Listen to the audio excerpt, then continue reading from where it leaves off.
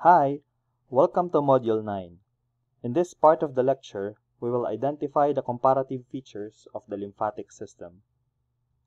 At the end of this presentation, each student should be able to identify the different lymphocenters per animal, compare the gross appearance of the spleen and thymus of the different domestic animals, and identify the additional lymphatic structures in birds. The lymphatic system is composed of the lymphatic tissues or organs and the lymphatic vessels. The system returns protein-rich fluid into the blood circulation that escapes from the blood capillaries into the tissue spaces. The system is also essential in helping the animal's body by providing specific and nonspecific immune response mechanism. Specifically, the system is involved in lymphocyte and antibody production, phagocytosis of particulate foreign matter, and movement of fats from the digestive system to the circulation. There are few variations among mammalian lymphatic organs like in the shape of the spleen and the presence and location of various lymph nodes. Much variation can be seen when we compare mammals from birds as the latter lacks lymph nodes and they have additional structures called the bursa of Fabricius and the lymph heart. Let us begin by comparing the system by locating the different lymphocenters in the body. Lymphocenters are a group of lymph nodes draining the same region of the body in all species. With this, we can discuss them per region. We will begin with the head. There are three major lymphocenters in the head, the parotid, mandibular, and the retropharyngeal lymphocenters. The retropharyngeal lymphocenter is further subdivided into medial retropharyngeal and lateral retropharyngeal lymphocenters. The parotid lymphocenter is consists of one or more parotid lymph nodes at the base of the ear close to the temporomandibular joint and covered by the parotid gland or the masseter. It drains the dorsal part of the head including the orbit and the parotid gland. This lymph node is palpable in dog and in cattle. The mandibular lymphocenter is located ventral to the angle of the jaw.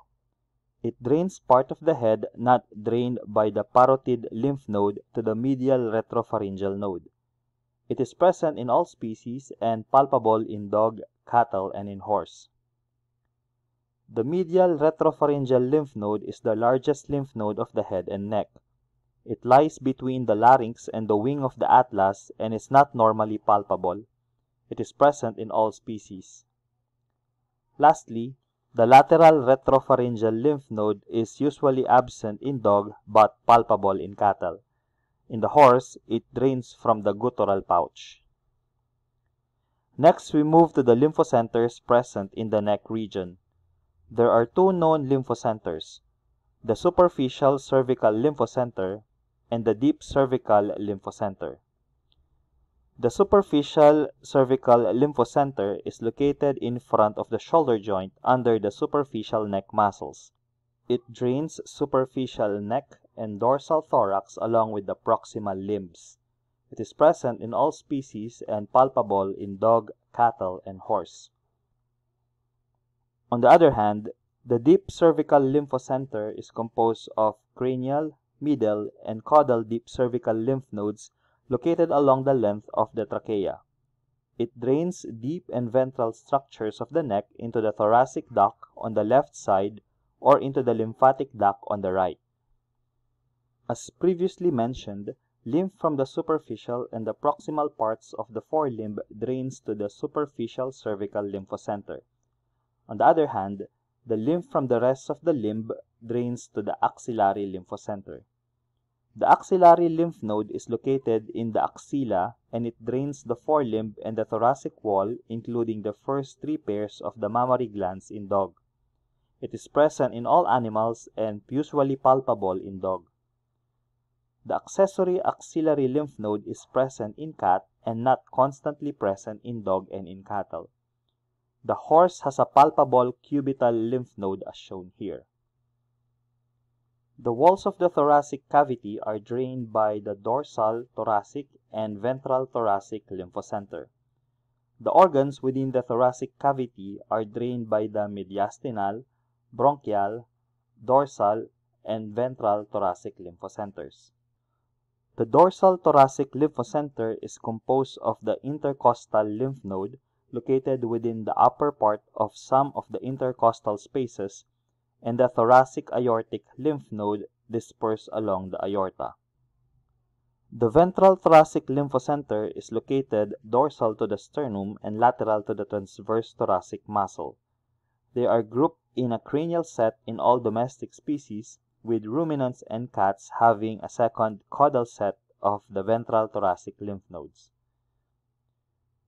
The mediastinal lymphocenter is composed of cranial, middle, and caudal mediastinal lymph nodes which are located in the like named part of the mediastinum. These are present in all species except that the caudal set is missing in dogs and cats but are very large in ruminants. The bronchial lymphocenter is consists of the tracheobronchial or sometimes called the bifurcational lymph node located above the bifurcation of the trachea. They are grouped into a right, middle, and left set of lymph nodes. In ruminants and in pigs, which have a tracheal bronchus, there is an additional cranial tracheobronchial group. These lymph nodes are important for the lymphatic drainage of the lungs. Now we move to the lymphocenters present in the abdomen.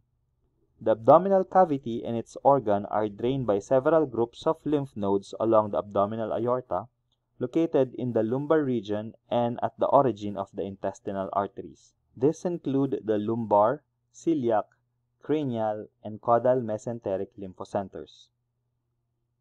The lumbar lymphocenter is composed of the lumbar aortic lymph nodes that lie on either side of the aorta between the transverse processes of the lumbar vertebrae. Here are the lumbar aortic lymph nodes.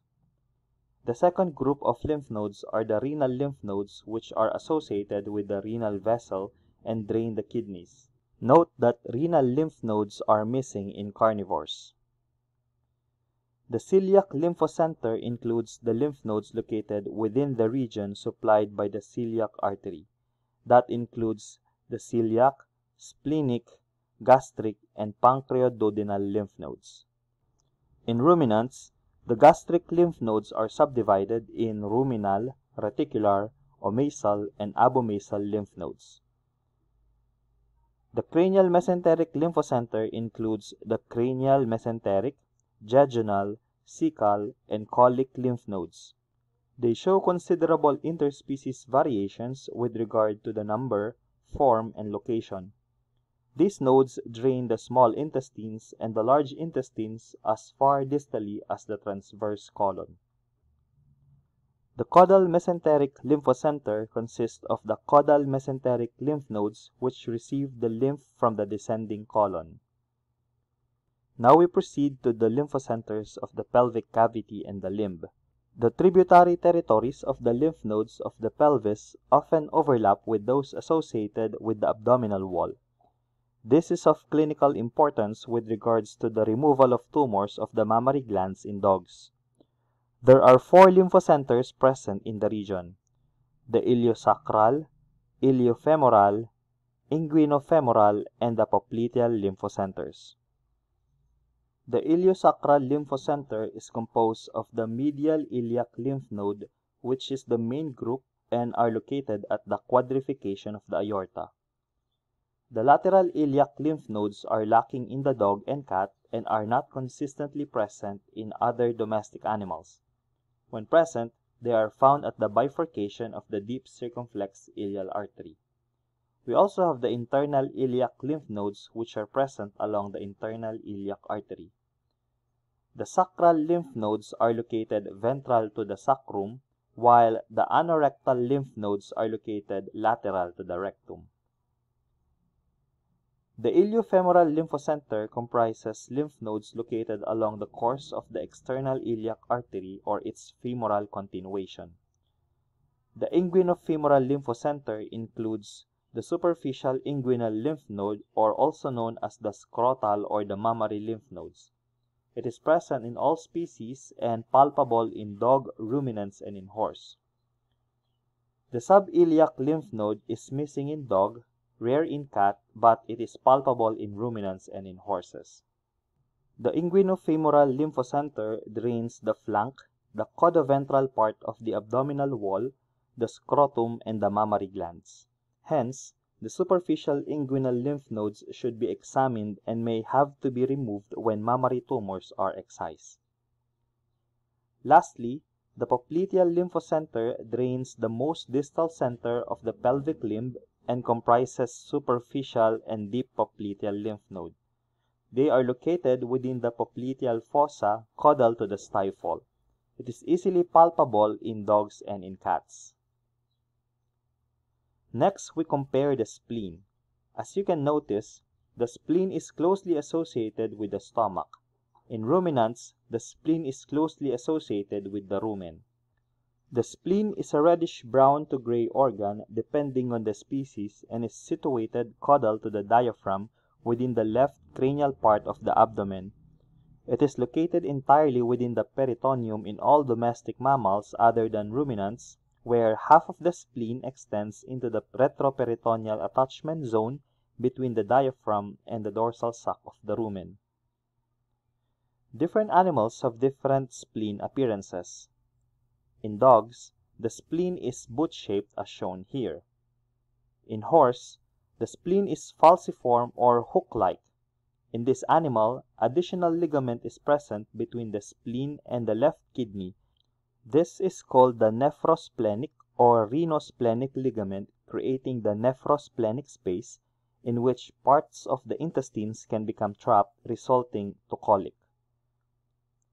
In large ruminant, the spleen is like a wide strap, while in small ruminants the spleen is leaf-shaped as like in the spleen of a goat. In pig, the spleen is long and tongue-shaped, while in chicken it is spherical like a marble. We can also note some variation in the thymus. The thymus is the control organ of the immune and the lymphatic system. Its importance is greatest in the juvenile animal and accordingly it reaches its maximum development depending on the animal. In dog, maximum development is reached three weeks after birth. It is one year after birth in horse and nine months after birth in pigs. After this time, it begins gradually to involute until the animal reaches sexual maturity. As it decreases in size and loses its lymphoid structure, it is being replaced by fats. We can also compare the gross appearance of the thymus per animal. The thymus in general is composed of a cervical lobe, intermediate lobe, and the thoracic lobe. In dog and horse, the cervical part regress prematurely and the thymus is represented by the thoracic part only. In cattle and in pig, the thymus is divided into unpaired thoracic part and left and right cervical parts as shown here. The two parts are joined together by the intermediate part at the thoracic inlet. In chicken, the thymus is represented by lobated lymphoepithelial organ situated caudal to the third cervical vertebra. They lie above the jugular vein on either side and occupy almost the entire length of the neck. We can also add some additional structure in bird related to the lymphatic system. First, they have a lymph heart. A lymph heart is an organ which pumps lymph in flightless birds like chicken back into the circulatory system. This is elongated, dorso-ventrally flattened organ located outside the body cavity. We do not have an image of the lymph heart, but for orientation purposes, it is situated at the caudal end of the synsacrum, dorsal to the transverse process of the first three caudal vertebra. Another unique feature in the lymphatic system of bird is the cloacal bursa or most commonly known as the bursa of Fabricius. It is pedunculated dorsal appendage of the proctodeum, which is part of the cloaca. Bone marrow derived lymphocytes mature within the cloacal bursa into the B lymphocytes that are subsequently responsible for humoral immunity. The cloacal bursa undergoes involution at sexual maturity. And that ends our discussion on the comparative anatomy of the lymphatic system.